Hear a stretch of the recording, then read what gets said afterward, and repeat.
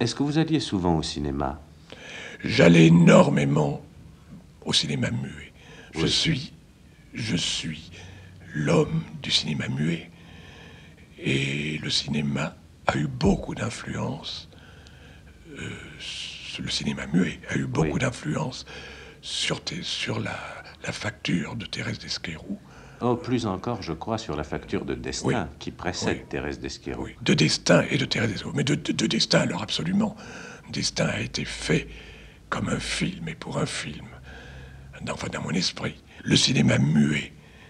Je me rappelle avec ma femme, nous allions euh, en- à la fin de l'autre guerre, enfin quand je suis revenu de Salonique, nous ne, nous ne manquions pas un épisode de- par- des, des mystères de New York. Enfin, ça, nous, ça nous passionnait, ça nous passionnait. Et c'était pourtant, je crois, un très mauvais film. Mais ensuite, j'ai énormément euh, aimé Le Lys brisé, Charlot, n'en parlons pas, j'adorais Charlot. Nous étions, nous étions euh, vraiment fanatiques du cinéma. Et puis, c'est un fait, est-ce qu'à partir du cinéma, du cinéma parlant, enfin, du- Oui. j'ai. Est-ce parce que j'ai vieilli? Est-ce parce qu'à ce moment-là, j'ai été sollicité par autre chose? Mais euh, je suis allé beaucoup moins au cinéma. Euh, plus le cinéma s'est perfectionné, si vous voulez, moins j'y suis allé. Ça, c'est étrange.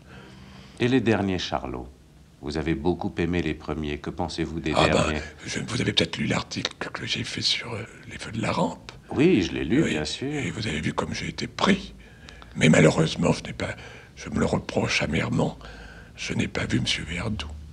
Vous n'aviez pas vu Monsieur Non, Verdoux et je le regrette. Enfin, je, voyez jusqu'où est allé mon, était devenu mon indifférence, était, était allé mon indifférence au cinéma. Quand je vois ce, qu'a- ce que m'a apporté les feux, de, les feux de la rampe, je ne me consolerai pas d'avoir, de ne pas avoir vu M. Verdoux si je ne pensais qu'on pouvait, le- qu'on devait le reprendre. Je pense quelquefois. Mais je ne sais pas si, au fond, vous avez été tellement enthousiasmé et pris par les feux de la rampe. Je crois que votre article parlait à propos des feux de la rampe, mais que on pouvait sentir beaucoup de réserves implicites sur cette œuvre. Non, je n'ai pas fait de réserve. J'ai été pris d'un bout à l'autre. J'ai eu, si vous voulez, le sentiment que le cinéma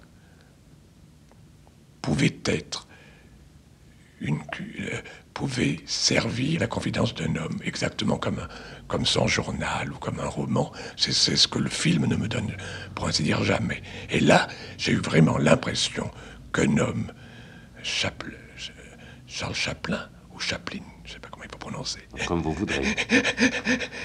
eh bien, j'ai eu l'impression d'un homme qui est certainement quelqu'un de très, de très important, qui est un très grand artiste, s'exprimer dans un film comme, euh, comme l'un de nous peut le faire dans un livre, et aussi profondément, et, et aussi intensément, et aussi cruellement.